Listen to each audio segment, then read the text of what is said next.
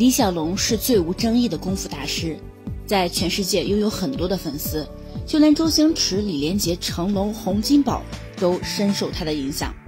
洪拳大师刘家良是黄飞鸿的曾徒孙，是南派功夫洪家拳的嫡系传人，并且是圈内最知名的武术指导。张彻弟子陈冠泰曾经说过：“只有刘家良才是武术指导，其他人都是动作指导。”想想这话确实没有毛病。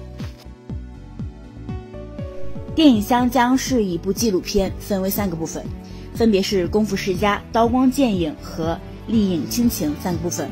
不同角度介绍了香港电影和演员。在采访到刘家良师傅的时候，他正在拍摄《醉猴》，当年这部剧的吴京还是很稚嫩的，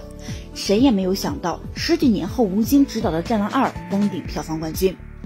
纪录片《电影香江功夫世家》中必然要提及李小龙和刘家良两位大师，这是无论如何都绕不开的话题。刘家良师傅先说到他和李小龙探讨武术的细节，他问李小龙什么是截拳道，他说就是斗快，我要快过他的，这就叫截拳道。不知不觉想起功夫中火云邪神的天下武功唯快不破。之后刘家良师傅又说李小龙这么年轻就死也是好的。人老了就没人看了，所以李小龙死的真好。我们的印象一直记得他的力量，永远不会忘记的。当然了，刘家良师傅这样说也是对李小龙的怀念，同时也充满了对李小龙的羡慕，能够被这么多的人怀念。言外之意也是对自己的一种调侃。毕竟，二零零三年拍摄《醉猴》的时候，他已经六十九岁了，如此高龄还在拍摄功夫片。虽然有廉颇不老的精神，不过动作确实不比年轻伶俐。一九九四年，不服输的刘家良师傅和成龙合作了《醉拳二》，